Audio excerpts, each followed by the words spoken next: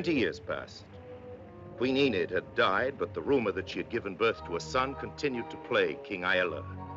Although his castle became the stronghold of all England, Aella was unable to stop the Viking raids. Now let it be known throughout the kingdom of Northumbria that I, King Rhodri of Wales, bestow on King Aella the hand of my daughter, Morgana. I will consent to this. I, too, King Rhodri of Wales, consent.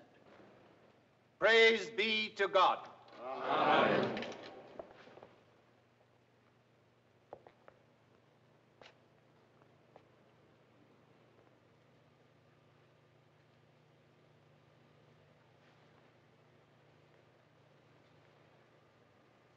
Please rise, child. On the first day of spring, you will become my bride.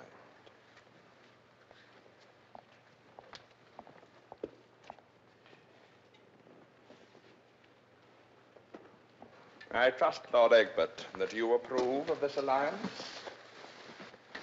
With all my heart, sire. Then why do you spread tales of an heir to the throne left by Queen Enid? It is common knowledge, sire. The Queen on her deathbed spoke of a son sent off to Italy, with the pommel stone of the sword Requitor tied about him. Your Majesty, is it wise to speak of things so long in the past? I hope soon to silence these wagging tongues. And this beautiful child will present me with an heir to the throne. And this marriage will combine the strength of Wales and Northumbria and protect our people from the depredation of the Vikings. And in